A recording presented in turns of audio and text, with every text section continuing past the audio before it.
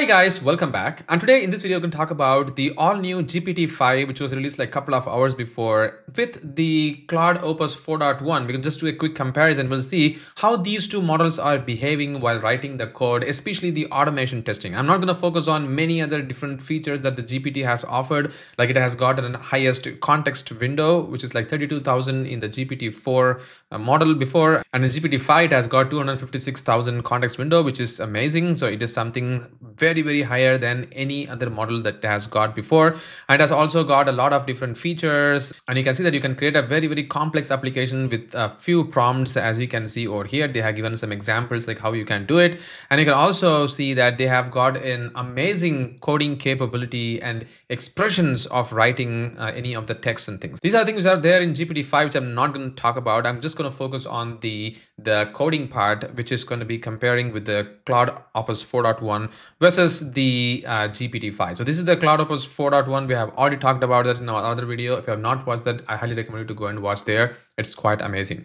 So what I'm going to do this time in this particular video is I'm going to show you the GPT-5 model, which is available for free as a, a launch offer uh, for the free credit for the free users in the cursor IDE. So if you have cursor IDE, just go ahead uh, and download it. If you don't have it, you can use the free version over here. So I have the, got the GPT-5 uh, for free. So I'm going to just show this one. And I'm going to compare this with the uh, Claude with the uh, Opus 4.1, which is this guy, right? So I'm going to compare these two and I will show you how that actually works. So basically what I'm going to do is I'm going to uh, input the same prompt, which I actually used while I was actually working with uh, the Claude Opus demonstration even before, where I was asking to write a full framework of Playwright C Sharp.NET code, including all the best practices like the dependency injection, page object model, separation of concern, XUnit framework, running in containers for the already recorded code from the uh, from the Playwright code generator. So I have just got the same code over here, the same prompt. I'm going to use the same prompt even for the GPT-5, which is running in the Claude uh, which is running in the cursor and then I'm going to run both of them over here in side by side. The moment I run that you will notice that both of them are going to start planning their next moves like how uh, this guy is doing over here the the GPT-5 and it, the way that the thinking for the GPT-5 works which I have watched on the demonstration while they were showing the demo on the on the GPT launch is that it thinks quite uh, quite cleanly this time. When i say cleanly there is no more hallucination and the, the way it thinks is very straight. And also it won't generate a lot of boilerplate cores it is going to be very very amazing code. That's what they claim. And you can also see that the way it's going to work with the uh, code creations are not going to be like how it was working before. Well, I say that you're not going to see a lot of class files going to be generated for a simple operation. They're going to keep things as straight as possible. So it's going to do a common sense of um, common sense while trying to generate the code and things. And the same thing goes with the Claude Opus 4.1 as well. We already saw that it is quite amazing compared to the Claude Sonnet 4 model. And the way it creates the test is also quite amazing. See, the moment I ask the the sonnet it has already started generating the code they have created the structure and it is also generating things for me. So you can see that it has got the configurations the driver the extensions and I also got the pages for the like uh, the login page home page application page application upload page.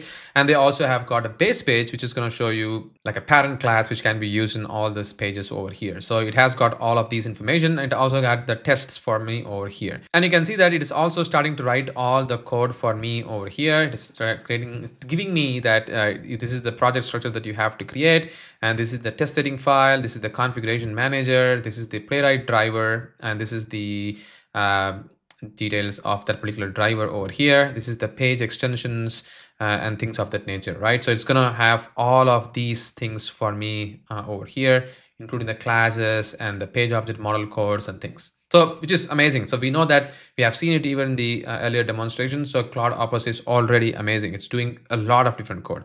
I'm going to quickly see what's really happening with the gpt-5 uh, you can see that it's already starting to add the uh, the project structure for me. I'm not really comparing the speed because speed is not the factor in here because it has to create the files uh, over here in this uh, cursor IDE. So I'm not going to compare the speeds and things because over here it's pretty much like an uh, like an ask mode of the Copilot in Visual Studio. That's what it is doing over here. But here it's an act mode, like an agent mode, where it's going to create the files. It's trying to compile the project if it is working fine or not. It's ensuring everything is working as expected. It restores the NuGet package, which is required, like Playwright uh, uh, packages. And then it has to do all of these things. So speed is not the matter here. I wanted to see if the code which is generated by these particular models are as expected uh, and how amazing they are.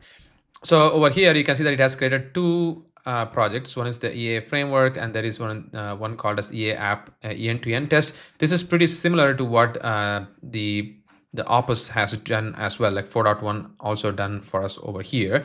Uh, and if I just gonna go back, you see that the structure is created. It's just creating an empty class file. There is no uh, tests being added so far.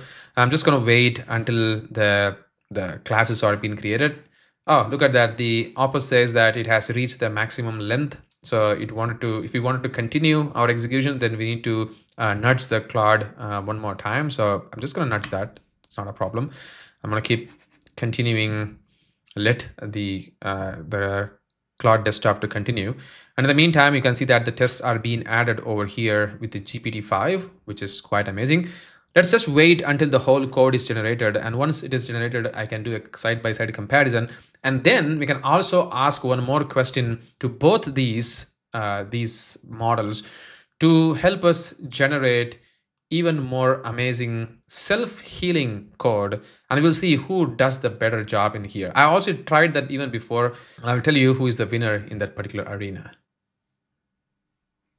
there we go. As you can see that the entire build has been completed by at least our uh, Claude uh, over here. It has completed all the operation and I have already hit the uh, the total limit for the Opus 4.1 until 4 p.m. today. So I can't really do anything until then. Uh, but at least you can see that uh, we we have already got the details that we really need. So it has created all the informations for us over here. So you can see that the entire uh, details of creation of the tests is already there for us over here. And in the meantime we just go back to our new hero which is the uh, which is the GPT-5 you can see that it has already uh, created the entire framework. It has also created the entire tests for us over here and also created a test results. You look at that. There is a results folder as well.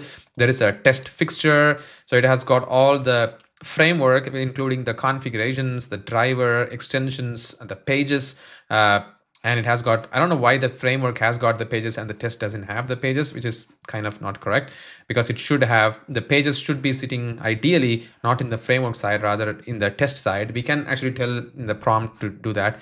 But at least the tests are running and you can see that the, there is one test failure and there is one test passing and it is working fine as expected which is pretty cool. So i'm just going to just stop because i don't want that execution to happen because this uh, recording that i have got is not for that particular website. That's the reason why this is not working just pretty cool. So this is already done and you can see that the code generation for the 5 uh, the gpt-5 versus the uh, the the Claude Opus are pretty close. I mean, they are not quite different at all. They are pretty good. Uh, and in fact, the number of tests it has generated uh, is just only one in here, and this guy has generated a bit more comparing to the uh, the actual GPT-5. Uh, if you ask me who is doing better, uh, I would probably vote what actually to the Opus 4.1 because this is looking pretty good comparing to uh, comparing to the GPT-5 model that we have got over here. Because there was another follow-up question that I wanted to ask, and I saw that the way that the Claude writes the code is way better than the GPT-5. So let's say I'm going to ask that, can you write a self-healing uh, code for the locators uh, even if the DOM element uh, changes. I don't want to make any of the changes in the POM code. Rather, the system should take care of that. See, this is something that I'm asking to the GPT-5 to write a self-healing code. And the moment I ask this question, it's going to write some code. And I've saw I saw the last time that the number of code that it generates and the mechanism that it creates uh, is, is actually far lesser than actually what the, the Opus really does. So if I'm going to go choose the Opus 4.1 and if I run this, I'm going to hit that particular limit, I'm sure, because I have already over exceeded that particular limit. But at least you can see that it's giving me a second chance to see what uh, look uh, how it's going to be creating that uh, code for me over here. Look at that. It's going to be saying that this is the self-healing code. So this is the I self-healing locator, self-healing locator, locator strategy, locator healer, locator cache, and then healing report.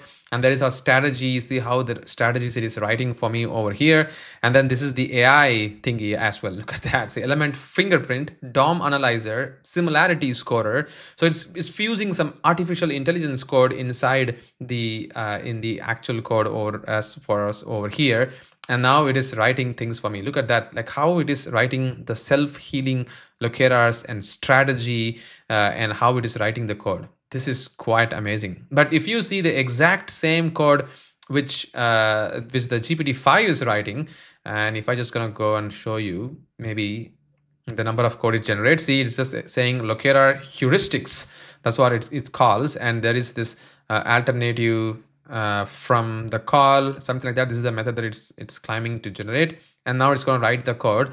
And i've already seen like how the gpt-5 generates versus what the Claude Opus generate Claude Opus code is way beyond what gpt does at least in this area. And uh, it, it is doing pretty well. At least i know that the coding side the sonnet is way better and opus is way more better uh, and gpt is still catching up on that uh, but i don't still think that uh, gpt is there yet with comparison with the opus so that's what i see in in the comparison side but i've still i'm very much intrigued to see how this particular code is even going to work like how this this entire uh, locator strategy and the ai and element fingerprints are really going to work. I wanted to really try out this particular code. I'm kind kind of intrigued to see how this is really working. If this works i'm going to just integrate that with my code base that i already have. But this is pretty cool to see that the way that the codes are being generated by these uh, these ai models are quite amazing and we wouldn't have thought about this kind of coding even before while we write the automation test. But now these models are really opening up our bulbs to see how we can actually write a better code than compared to what we were writing all these days classically. This is quite amazing. So that's it guys. This is about how we can see the actual difference between the the gpt-5 versus the opus 4.1 and who is writing better. If you ask me who is writing better at least in the testing side of the code i think i'll still vote the opus 4.1 it looks pretty amazing uh, whereas um, whereas the gpt is still struggling to write a better code. It's still writing the same way of writing the codes uh, and it's not as much as what the opus can write. Once again thank you so much for watching this video. Catch you in the next one